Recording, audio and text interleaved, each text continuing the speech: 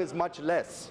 Let me take you to 2014-15, where the rate of growth in AP was 13.07%, but the per capita income was the lowest, and it stood at 93,699 rupees per person, madam. Same is the case in 2015-16 and 16-17. In 16-17, the growth was 13.14%, whereas the per capita income was 1.22 lakhs when compared to Karnataka's 1.57, Telangana's 1.55, more than 20% lower than our neighbors, madam. Madam, the then PM, Manmohan Singh ji, had given six assurances on the 20th of February 2014 on the floor of Rajya Sabha. They are special category status for five years, industrial incentives on the lines of other 11 states, assistance to backward districts on the lines of Bundelkhand and KBK districts, amendment for Polavaram to bring seven mandals back to AP, distribution of assets and liabilities to be completed satisfactorily, and revenue deficit between the appointed day and acceptance of the 14th Finance Commission recommendations to be compensated in 2014-15 for a 10 month, 10 month period, madam, from June 2014 to March 2015. Madam, I want to focus a little bit on special category status, madam, because it's a burning issue in our state. Madam, let me first submit the major demand of the people of AP. It is about getting the special category status. I am neither tinkering nor twisting nor tweaking the facts.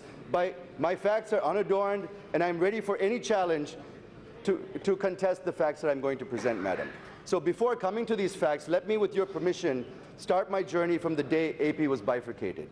Madam, the Congress party in 2014 sliced Telugu Talli into two pieces in a crude, unscientific, and irrational way. And she, Narendra Modi, while campaigning in AP, had rightly said, and I quote, what is there, madam? You complete, they will say afterwards. You complete. Madam, I don't know.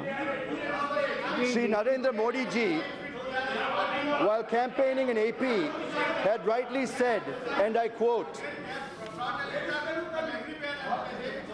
Yes, you continue. Madam, Yes. Sri Narendra Modi ji, while campaigning in AP, had said, Congress had killed the mother and saved the child. Had I been there, I would have saved the mother too. The people of AP fell flat for this statement, madam. We are so thrilled when we heard this, and we are determined in our hearts and soul that come what way, what may be, we will be with Mr. Modi, madam. We have waited. People of, of AP have waited for four long years that Mr. Modi would save the mother. Instead of saving AP, Mr. Modi, through the finance minister, through his press, conference on 7th March 2018, announced that no SCS would be given to AP, madam. The finance minister said if the demand for SCS of AP is exceeded, other states such as Bihar and Odisha will also demand it, madam. Madam, it is baseless, frivolous, and a trivial argument, madam. And I have no hesitation to say that the finance minister should know the fundamental difference between the two. Let me remind this August House that the Union Cabinet conferred SCS on AP on, in its meeting on 1st March 2014, subsequent to the assurance made by then Prime Minister mentioned earlier. Other states have not been given an assurance by a Prime Minister on the floor of either Houses of Parliament, nor has a cabinet decision been made in this regard. This is a very dangerous precedent, madam. Mr. Prime Minister, do you have any respect for commitments made by your predecessors? Indeed, should you even have a choice? What value does the word of a Prime Minister given on the floor of the House have? Can we believe that if you give an assurance, it will be fulfilled in the future, even if you are not around? How can we function as a nation if we can't take the word of our Prime Minister given in Parliament to be respected and fulfilled? Madam, it is not that BJP was opposed to special category status when it was in the opposition. In fact, the BJP in its 2014 manifesto for assembly elections in AP assured that it would give additional five years of status, that is 10 years instead of the five years proposed by then Prime Minister. Mr. Prime Minister, in Guntur, in Nellore, in Tirupati, in front of Lord Balaji, you promised to give SCS for 10 years. And you also emphasized and appealed to the people of AP to decide whether they need a SEAM Andhra or a scam Andhra.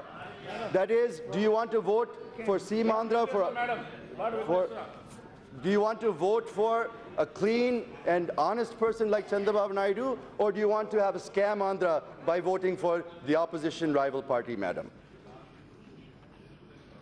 Madam, uh, Mr. Prime Minister, you also said, I'm a person who will not eat or allow others to eat. Main chun chun ke hisab lunga un. But to the other, dis other disappointment for, for your benefit, sir. But to the other disappointment of the people, you are protecting people like Gali Janardhan Reddy, A1 and A2 accused in Andhra Pradesh, and many others. The country is aware how many cases were on the family members of Gali Janardhan Reddy were dismissed and tickets were given in the recent Karnataka Assembly elections. This reflects how serious you are on corruption and on corrupt people. You raise the expectations of supporting and developing Andhra Pradesh only to shatter them.